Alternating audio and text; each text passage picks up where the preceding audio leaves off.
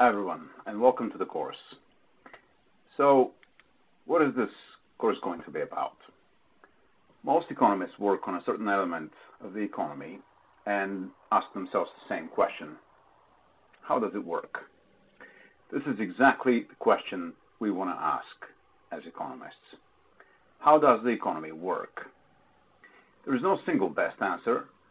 Um, it will be very difficult to address this question because the economy consists of small parts moving together, which don't always have the same goals and intentions. To make things worse, an economy itself is a part of a giant $100 trillion enormous entity, which we call the global economy.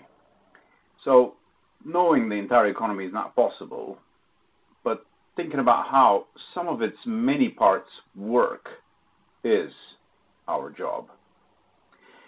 Some of the questions we address as economists are, for example, how did we end up living the way we do?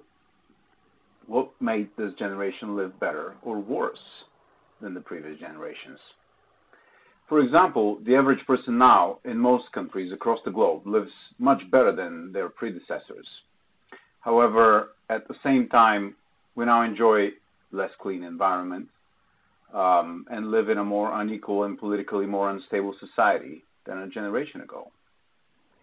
What led to those changes is one of the questions we address as economists. Second, there are millions of individuals and firms and hundreds of governments behind the process of economic growth. We want to know how they make choices because they're the ones driving growth. What are their guiding principles of action? Why did they make a certain decision? Of course, we will never know if each of them made the right decision for themselves, but we can think about some common traits, traits behind um, individual, individual action. However, taken separately, those decisions rarely make sense. People and firms meet in markets. We want to know what guides the interactions taking place on those markets. There are certain rules of engagement that determine the outcomes from the interactions between people, between people and firms, and between private agents and governments. Those rules also shape the outcomes of the interactions. That is why we want to know how changing the rules of the game changes the outcomes from those interactions. Sometimes we want to know if the governments can do something about changing the rules of the game. Governments need to step in sometimes because the outcomes of the interactions between people and firms and between firms and firms are not always desirable. And sometimes governments not want to change the rules of the game because of the dominant ideology of the government is such that achieving a better outcome for firms and citizens is not exactly on their agenda. But our job as economists is to think about how government's intervention can make things better or worse for the economy. Which brings me to the last big question we address as economists. How can governments do more to improve the way people live? The answer to this question is not only in the economics domain. We need to think how the economy interacts with the environment and what the social consequences of those interactions are. So what's our approach to tackling the problems we outlined above? We use three basic principles. In each week we're together, we will identify a significant problem that society is confronting now or has faced in the past. We do that to give you an immediate link between what you study here and the real world. Then we'll develop a basic theory to explain what we see in the real world. And finally, as a third step, equipped with the theory, we will go back to the facts and ask the question, is the theory still relevant today, or it needs certain change? There are numerous advantages of what we will do over uh, how economics has. Uh, there, okay, so there are numerous advantages of what we will do over how economics was done at the A levels. I believe the crucial advantage is that you guys get to operate in exactly the same way professional economists do. So what we do is we see a problem, we look for an explanation, and we test our explanation by using recent data. Sometimes we also offer policy solutions to help solve the problem we began with in the first place. This is what modern teaching of the principles of economics is also about. So how are we going to go about it then? Um, each week, I recommend that you first watch the videos at home before the live lecture. The videos outline are the basics of what we're going to talk about during the lecture and the rest of the week. As you can see, the videos come with slides attached to them, so you can use those slides as talking points. After you watch the videos and go over the slides, you need to go to do the quiz. The weekly quiz is important because it gives you 1% of your final mark. We included weekly uh, quizzes to the weekly videos to make sure you watch them and have and have got uh, ready for the rest of the week. Note that there is uh, a forum sitting there for you. Uh, use it if you want to get in touch with your colleagues and with me or any of your uh, lecturers. I will use some of your questions to start off the weekly live lecture or to allocate them to the seminar uh, that is going to wrap up the week.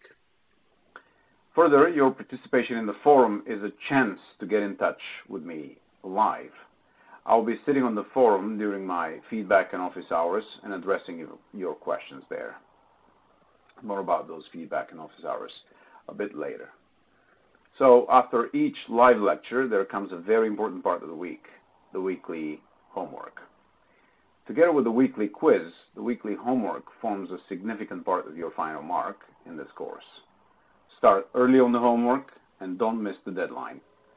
Um, according to college policies, if you miss a deadline by less than 24 hours, you get a 10 points penalty. However, if you miss it by more than 24 hours, you get zero points on the assignment. So again, start early and submit on time. Typically, unless I tell you otherwise, the deadline for each of those weekly homeworks is going to be midnight on each Friday. The solutions to the more difficult parts of the homework are going to be given on the seminar after the homework deadline has passed. During those seminars, you will have the chance to ask additional questions, reflect on what you learned during the week, and hopefully um, gear your newly acquired powers to solve some important societal problems. Thus, the, the, the, seminar will close the week off, after which you will be able to watch the new, uh, the new week's videos. So that's the seven-point plan for each, each week. So where can you find the videos, uh, the quizzes, the homework setups, the class presentations, and textbook chapters, and the seminar materials? Everything will be posted on Moodle. That's our learning management system. If you have not done so so far, um, now is the time to log onto Moodle for the Principles course and have a look around. Uh, when you get familiar with the Moodle environment, I strongly suggest that you go and create a student account at the CORE Econ platform, this is where your textbook is located. Note that your textbook is free of charge and is 100% uh, online. If you prefer, you can also use the app instead of the, uh, the desktop, desktop version. Today, if it does not work on Moodle, it does. Uh, sorry, if it doesn't work on mobile, it doesn't work at all. So uh, feel free to use the mobile reading and learning app as well. Now, of course, many of you are interested in, uh, in how you will be assessed. So this is the structure of assessment this year. First, each week you will get up to 1% from answering the, the few basic questions about the videos you watched. Um, every weekly quiz will be marked. Um, then you will also submit a weekly homework. The goal of those homeworks, as you can see the problem sets or homeworks, is to make you work harder to master the material, of course. Note, however, that not all, not all of the of these homeworks are going to be marked. Out of the planned 10 homeworks uh, that are planned for, for this term, only two will be marked. Um, this will be the case next term as well. So you can expect about 20-25% chance uh, that a homework you submit will be marked. If it is marked, you will get a maximum of 5% on that particular homework. You will also not know in advance if the homework will be marked or not. Um, therefore, you will have an incentive to work on and submit all of the planned 10 homeworks for the term. There's another important reason we'll give you those homeworks. You will face similar problems on the midterm and on the final exam. The midterm exam will be held in December, around beginning of December, um, and the final exam will be during the exam term in late May or early June. Uh, please recall that you that what I told you during the induction week. Although your first year academic performance does not matter for your degree classification, it does matter in many other important ways. First of all, it brings you up to speed for the second year, which is, which will already play a role in your degree classification.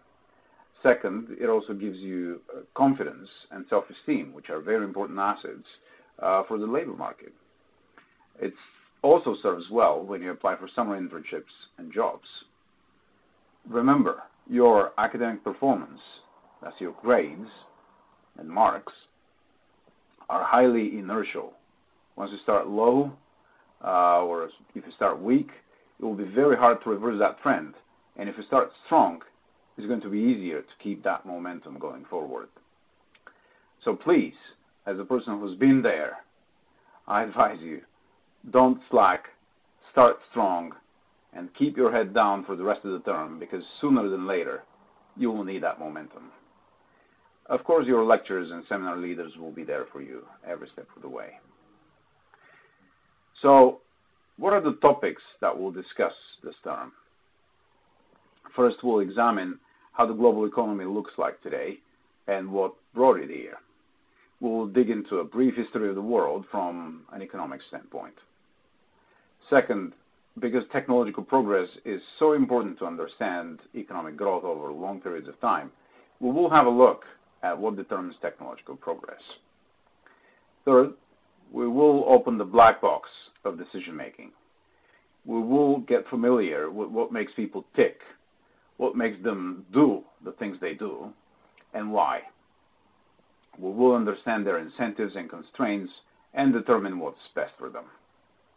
But then we will stop analyzing the individual as a lonely, lonely animal sitting on the edge of the forest and exchanging nuts for berries with other human beings. This is not how the economy works today.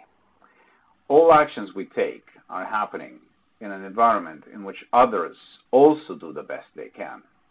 So, how to determine what's the best for us, given what's best for others around us? This question will be key to understand the fourth, the fourth weekly uh, topic. Fifth, we will see that human interaction happens um, in an environment shaped by incentives and constraints imposed by others on us. These are the rules of the game shaping human interactions. We will analyze how changing the rules of the game changes the outcomes of uh, social interactions. We will see that the same people with the same goals and value systems will achieve vastly different economic outcomes depending on how the rules of the game are structured around them. In the second part of the term, will bring the, the firm into the economy. We will look at the firm from two vantage points. On the one hand, the firm is a place where three types of economic agents meet the owners, the managers, and the employees. The firm is a place in which these three agents interact. And like we will see, those interactions are shaped by the constraints that each of those agents has. Uh, so unlike in uh, traditional A-level economics, we will look into what happens within the firm. On the other hand, however, firms don't exist only to provide a platform for social conflict between owners, managers, and employees, of course. They exist primarily to make a profit, which firms generate on the marketplace. So we'll look into what markets are and how they shape the profits the firms can achieve on those markets. In other words, we'll keep asking the same question. How can a firm or any agent achieve the best it can given the incentives and constraints the market has imposed on it? As you can see, the first term of this uh, one-year module will be more about individual decision-making. The second term will give you the chance to zoom out from the individual decision-making. You will go for a bird's eye view of uh, important markets such as labor market and the credit markets. Without the proper functioning of those markets, the economy as we know it today will not be able to function. But sometimes, even if market participants do the best they can, um, the markets will generate certain failures. We will study those failures and uh, see why sometimes they lead to socially inferior outcomes. This will open the floor for limited but vital policy intervention in areas which, if left on their own, will perhaps lower the quality of our lives. We will close the second term with special topics such as technological progress, inequality, and the environment. Those topics will be a primer on a whole lot of third year special economics courses. I say we, uh, but who do I mean by that? Here's where you can find me. I live in uh, Horton, H213. When I say live, I don't joke. Uh, um, I will be on the weekly forum for you um, on Monday between 11 and 12, and on Wednesday between 5 and 6. Um, you can send me an email anytime. However, please note that I will be uh, replying to those emails during my feedback and uh, office hours only. You can check out what I'm currently working on on my personal website or check out some articles I post for my students on my Twitter account. In the spring, um, you will have Dr. Nundlau and Dr. Trapeznikova who will tell you how to get in touch with them separately. Last, but of course not least, a crucial part of your teaching team are the seminar leaders, um, which we sometimes call uh, teaching assistants or TAs. Uh, we will determine the TA team uh, very soon, and you'll be aware of that. So, thanks for watching. Um, have a break and go see the weekly videos now. Thank you.